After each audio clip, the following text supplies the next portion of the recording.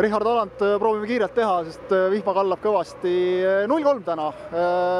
kuidas sa tagasi vaatad sellele mängule, esimesel poolajal teil oli natukene õnne ka, Flora väravaid mõned võeti ära. surve all olite algusest peale oma mängu, te tegelikult teisel poolel ka väga mängida ei saanud. kas, kas Flora suutis teid täna ikkagi ära suruda? ma usun, et jah, tänase tasemevahe tuli nagu tugevamalt välja, et eks meil olid siin mõni mees oli kaartidega väljas, kellel siin pisivigastused ja asjad, et eks see koosseis meil nagu oli hõre ja, ja noh, kuidas öelda, see oli arvata, et nemad hakkavad domineerima seda ja me olime ka selleks valmis, et eks me, meie eesmärk oligi nii-öelda hammastega kinni hoida, aga näed, täna läks nii.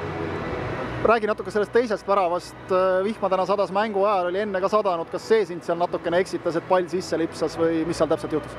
Jah, seal kas äkki oligi võib-olla Sten või keegi hüppas sealt korra veel nagu eest läbi ka, et, et siis kadus korra see side nagu palliga ära ja, ja ega seal rohkem ei olnudki, et lipsas näppude vahelt minema ja, ja seekord postid ei toetanud nagu sa ütlesid, puudujaid teil, teil omajagu praegu, noored mehed saavad, saavad tulla, kolm kaotust olete te nüüd saanud pärast enne ja pärast koondise pausi.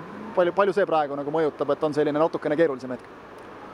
See ei ole esimene keeruline hetk meil sellel hooajal selles suhtes, et ma usun, et siin noh, noortele kuttidele ka, kes täna mängisid, kes vähem mänginud on, pole ühtegi etteheidet, et kõik andsid endast maksimumi, proovisid hea koht, kus kogemust saada, karastuda ja noh, ma ei näe nii suurt, kuidas öelda, kohta muretsemiseks, et ma usun, et tuleb siit positiivne kaasa võtta ja lihtsalt minna edasi ja tööd teha, uskuda seda, mida me teeme.